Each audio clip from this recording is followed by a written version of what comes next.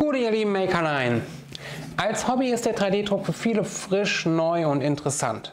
Es gibt jede Menge tolle und auch nützliche Dinge zu drucken, wie zum Beispiel diese ID3 Storage Box. Und passend dazu kann man diese auch noch in fast allen Farben als auch Materialien drucken.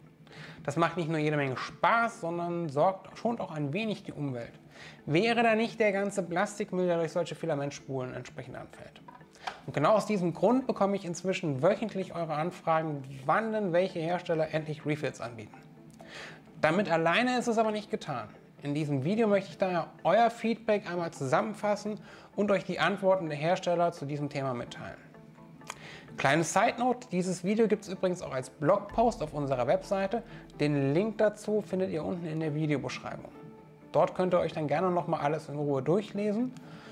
Die Links zu den einzelnen Produkten findet ihr natürlich auch in der Videobeschreibung als auch im Blogpost. Bevor wir beginnen, habe ich noch eine kleine Bitte. Laut YouTube-Statistik sind 50% meiner Zuschauer keine Abonnenten des Kanals. Ich würde mich daher sehr freuen, wenn ihr meinen Kanal kostenlos abonniert. Damit helft ihr mir weiter, weiterhin solche Videos wie dieses hier für euch zu drehen.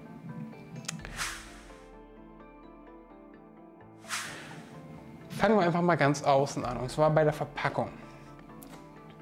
Es gibt Hersteller, einige Hersteller, die die Verpackung entsprechend nochmal, diesen Karton nochmal in so eine dünne Folie packen. Klar, damit soll ersichtlich sein, dass das Produkt noch original verpackt und unbenutzt ist. Aber sind wir mal ganz ehrlich, kaum hat man diese Folie ein paar Mal in den Händen gehabt, fängt sie entweder an sich aufzulösen oder die ersten Nähte fangen an zu reißen. Diese Folie schützt also nur bedingt den Karton. Und eigentlich sollte ja der Karton der Schutz für die Ware sein.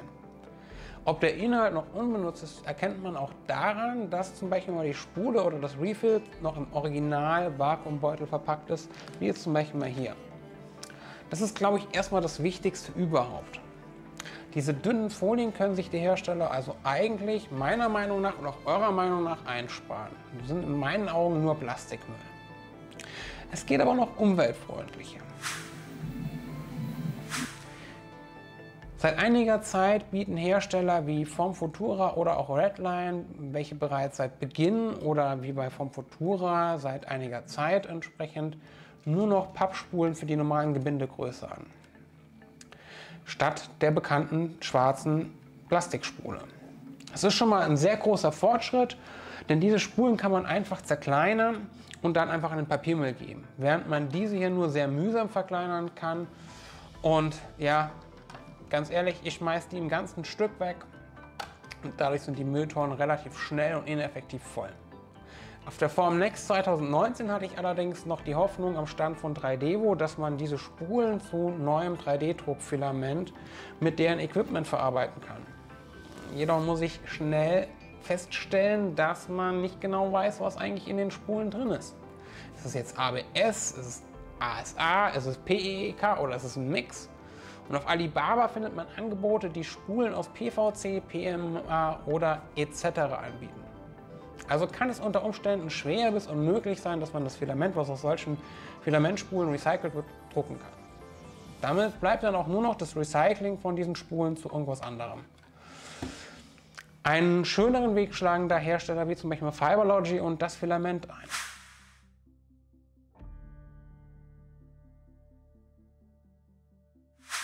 Dort bekommt man parallel zu den normalen Spulen auch noch das Filament als Refill angeboten. Das bedeutet, dass die Spule einfach komplett wegfällt und man erhält ein gewickeltes Filamentbündel, welches man einfach auf eine alte Spule oder auf eine Puzzlespule wie die hier entsprechend draufwickeln kann und dann einfach von da ausdruckt.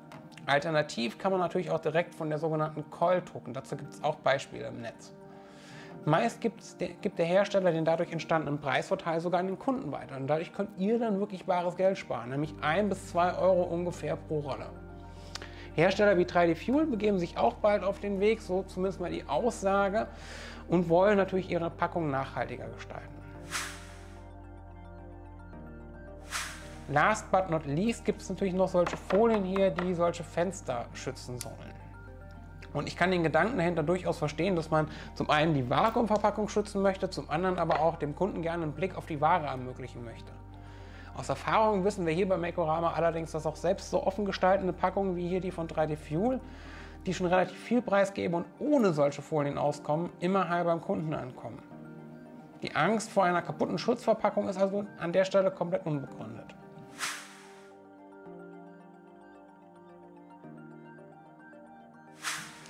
Ich habe bezüglich dieses Themas mal die Hersteller für euch angefragt und folgende Antworten von den Herstellern bekommen.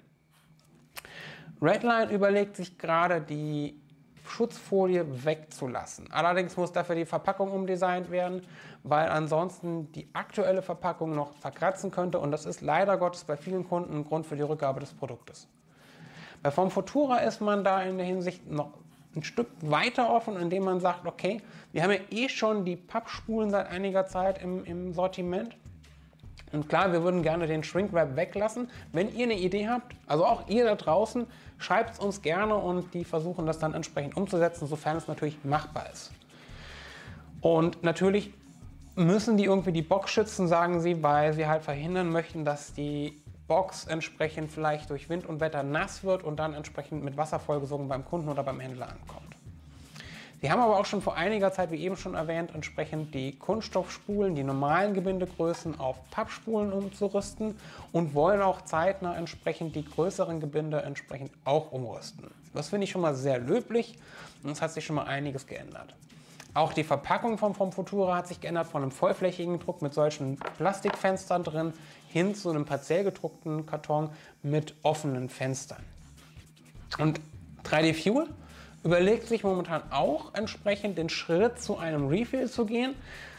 Allerdings muss ich ganz ehrlich sagen, die haben momentan alle Hände voll zu tun. Das haben sie mir auch mehrfach gesagt. Die würden gerne, aber momentan geht es nicht. Lichtblick gibt da entsprechend, dass neue Anlagen in den USA gerade ankommen und aufgebaut werden, neue Produktionsstraßen.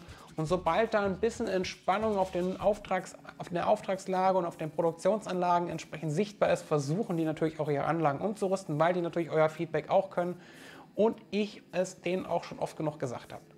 Und jetzt seid ihr gefragt, gerade Form Futura, sagt doch mal bitte einfach, was ihr euch noch weiterhin wünscht, an den Verpackungen zu verbessern, was man dort ändern könnte und wie man es vielleicht lösen könnte. Ich gebe das Feedback gerne an die Hersteller weiter.